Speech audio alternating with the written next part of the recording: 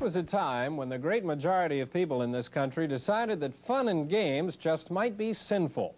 Anything that took too long and didn't produce anything but joy and laughter was looked upon as, as kind of a waste of time, an unnatural act. And so, during the better part of this century, harmless games like pool and cards and pinball were labeled immoral. Pool and cards went into the back rooms of America, and pinball machines were banished from the face of the land. Fifty years ago, pinball was a national sensation. But by the late 1930s, one city after another, spurred on by community and religious groups, passed ordinances